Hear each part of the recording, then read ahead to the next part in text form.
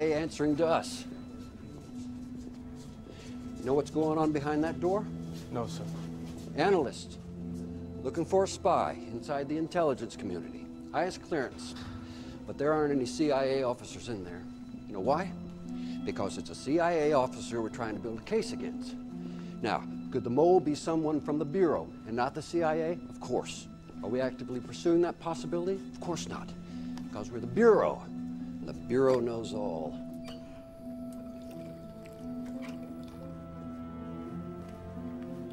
Cooperation is counter-operational.